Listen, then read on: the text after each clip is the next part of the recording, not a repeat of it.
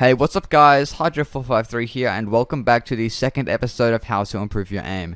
If you didn't know, this series is basically going to be about showing different tips and tricks that you can use to improve your aim. Today's episode is going to be about how to practice using different programs and we will mostly be focusing on training your tracking skills. Alrighty, so just a quick note before I do continue, just make sure that you've watched the previous episode to make sure that you've got a mouse that fits your hand perfectly to ensure that you're getting the most aiming power uh, that you are capable of. Okay, so the very first thing is finding a good program to train on. I highly recommend Kovaak's Aim Trainer. It's very simple to set up and if you spend enough time practicing on it, uh, you will definitely notice that you will aim a lot better. It's certainly not something that takes like 10 minutes, but you'll need to play a lot every day for at least a few weeks before you'll notice any difference in your aiming ability. If you aren't too keen on buying Kovaak's, then you can use Aim Booster, which is an online flash game. It's certainly not as good as um, since you're just like aiming with the cursor, but it can help a little bit. Alright, so now we're going to go over different modes that which you should be playing in Kovaak's, and which ones will actually help improve your aim the fastest and easiest way. Alright, so now we're going to go over the different modes which you should be playing in Kovaak's and which ones will actually help improve your aim the fastest and the easiest way. Sender Tracking V2 is the best at practicing aim uh, because smooth and uh, smooth tracking applies in pretty much every single first person shooter.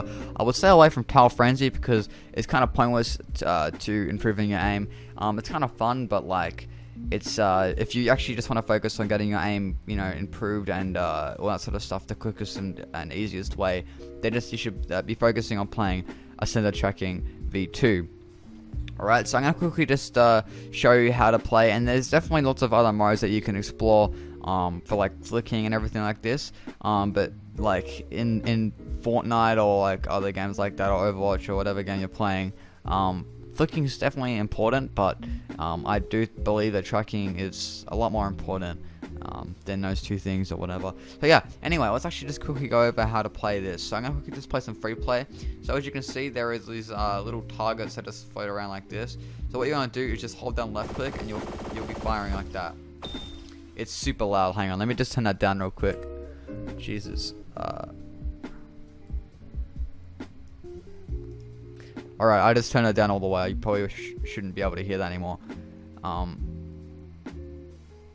but as you can see, it's uh, pretty easy. So, well, not really. It's, it's hard at first. So what I'm going to do is just go over the different ways people usually aim when playing this one. So usually people just aim like this by like having... I, I, I know I don't have a hand cam, so you can't see my my my uh, my, my, my mouse. Jesus Christ, I can't speak.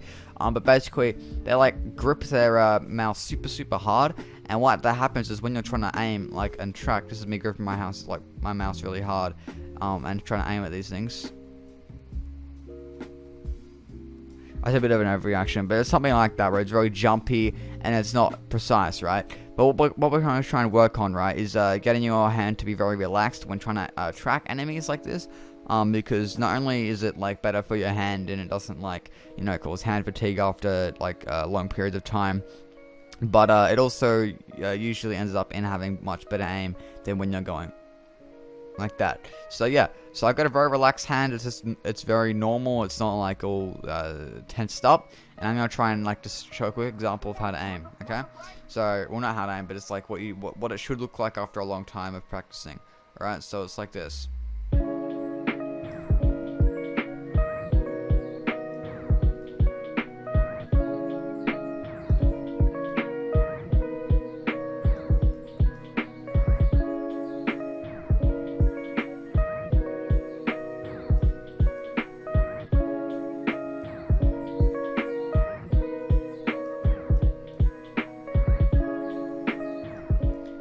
God. Um, as you can see, I'm not the best. I'm not playing that that well right now, but um, yeah, normally I do uh, pretty well. But um, yeah, normally uh, you don't really want to be focusing on your accuracy up in the top left there.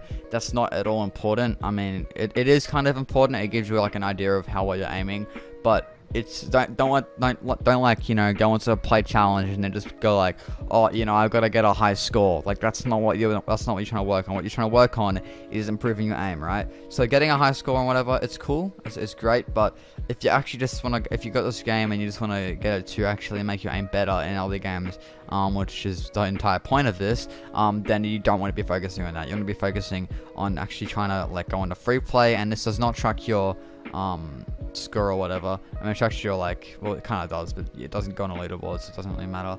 Um, and you just want to be practicing, and then occasionally, if you want to, you can go into the challenge, right? The challenges has like a time timer on it, and it, you know, try and kill as many enemies as fast as you can.